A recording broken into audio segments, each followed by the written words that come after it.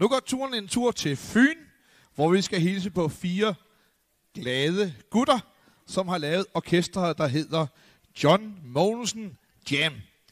Orkestret har spillet John Mogensen musik de sidste øh, 5-6 år, og på den relativt korte tid, de har spillet, der har de været på Grønland, Gran Canaria, ja, rundt i hele Danmark, og sågar også på Bornholm.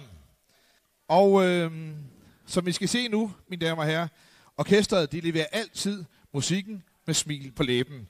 Mine damer og herrer, giv en kæmpe hånd til John Mogensen Jam.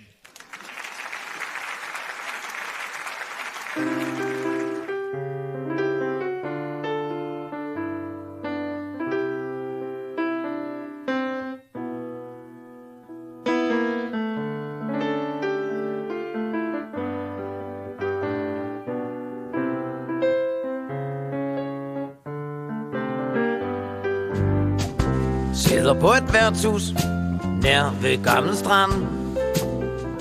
Brugte hver en skilling. Meget dygtig mand. Gæsterne forsvinder. Klokken er vist fem. Ringe til konen. Se og komme hjem. Hjem til skideballen Hvor herre bevares. Man har været borte Et døgn. Hvorfor blev man væk? Ja, ja det skal jo forklares.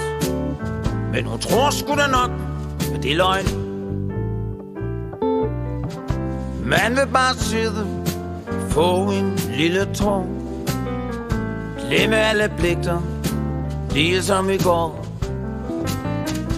Endelig var det lørdag, man skulle slappe af. Så faldt man i vandet, i et mundret lag. Sammen med de andre. En tur ud i solen. Rigtig ud og fører sig frem.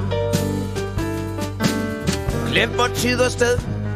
Der var klister på stolen. Hvordan fanden skulle man så komme hjem? Sidder på et værtshus Nær ved Gammel Strand. Frugt af en skilling. Meget dygtig mand. Gæsterne forsvinder Ballet er forbi. Bumme til en sporvogn Finde linje 10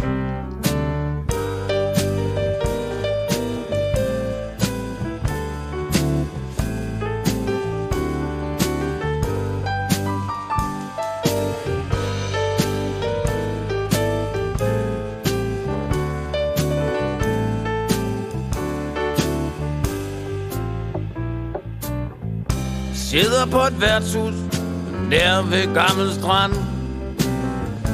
Brugt af vandskilling.